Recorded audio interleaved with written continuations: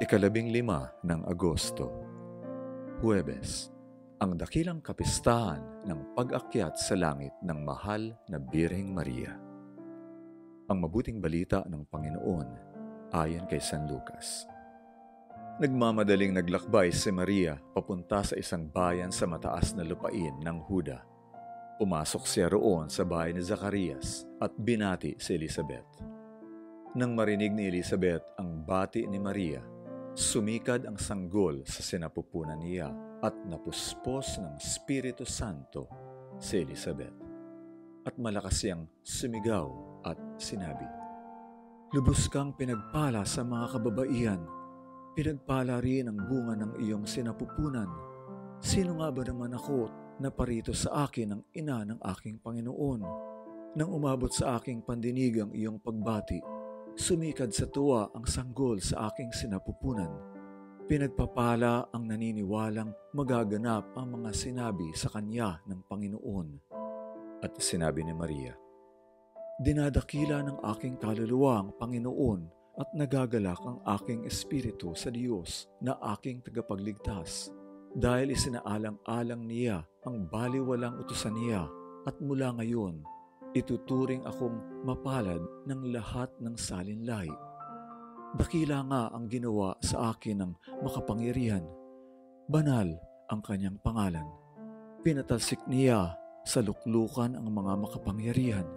Itinampok naman ang mga baliwala Binusog niya ng mabubuting bagay ang mga nagugutom at itinaboy namang walang-wala ang mayayaman.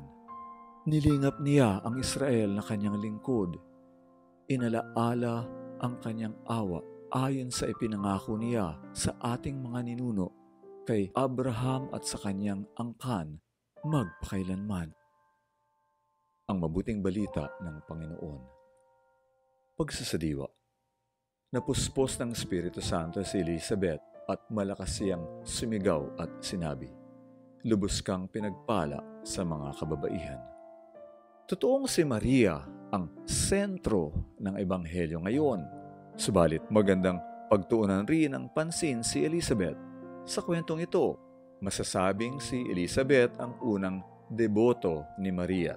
Siya ang nagsabing, lubos kang pinagpala sa mga kababaihan at batid niyang pinagpala si Maria dahil sa sanggol na nasa sinapupunan nito.